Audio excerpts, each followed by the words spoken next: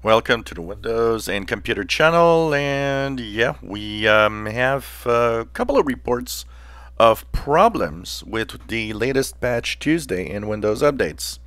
So Patch Tuesday happened this week and for the most part it's rolling out okay to almost everybody but there's a few out there that have problems.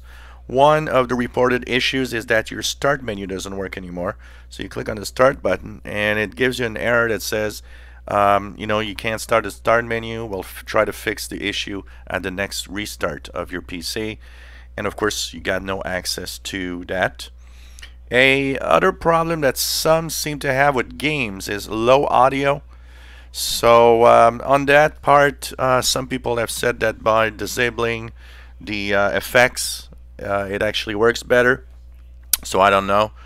Um, whatever happens, if you have issues and like that start menu problem, uh, and Microsoft did, by the way, acknowledge today the start menu problem.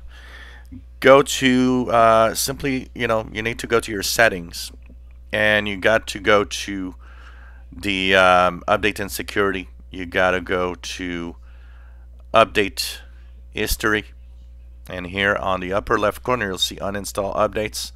The update you need to uninstall to fix the problem is KB4515384 that's the one you need to uninstall. You don't need to touch the other ones. That will apparently uh, fix the start menu problem.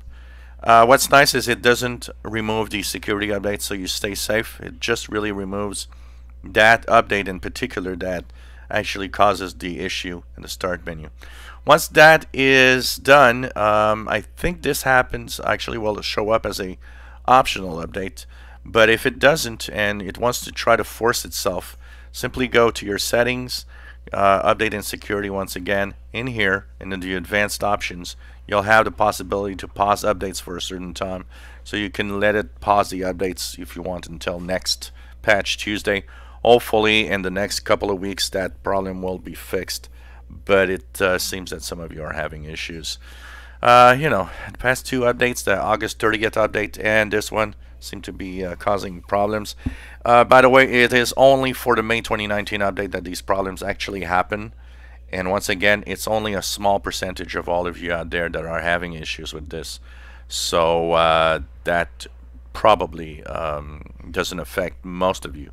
But if you do have that problem, check it out and remove the update uh, to fix the issue. If you enjoy our videos, please subscribe, give us thumbs up. Thank you for watching.